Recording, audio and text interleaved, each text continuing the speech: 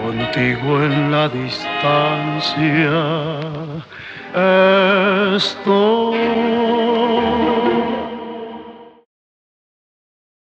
Soy Arturo Saucedo.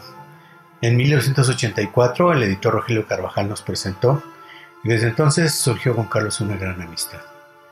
Originalmente a Carlos le interesaban mucho los géneros de vanguardia y los géneros que se estaban dando en los 80s, eh, particularmente en Estados Unidos, Canadá, Europa y México.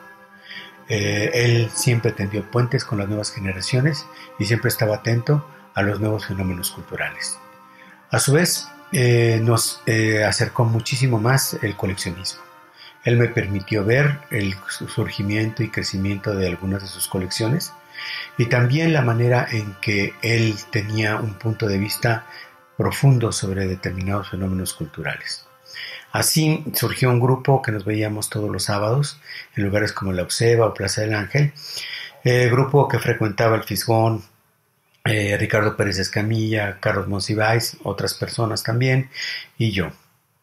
En cada una de esas reuniones había una gran eh, pasión y un gran conocimiento del cual surgieron varios proyectos personales, proyectos curatoriales y proyectos personales míos. Es así como también Carlos me enseñó la autonomía como uno de los más altos valores.